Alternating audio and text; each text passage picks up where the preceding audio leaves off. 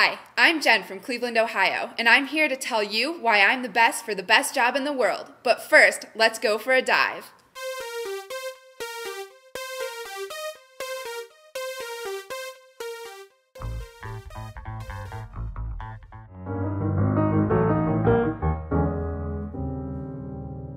So, as you can see, living in Ohio and going to school in Vermont hasn't always been the most practical for warm weather, marine life, or diving. But that hasn't stopped me from pursuing my dreams and living an adventurous lifestyle.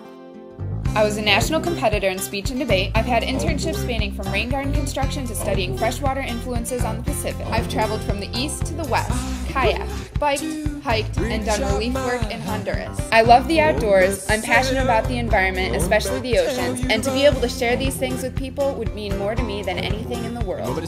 So, Tourism Queensland, please send me on my way as your island caretaker.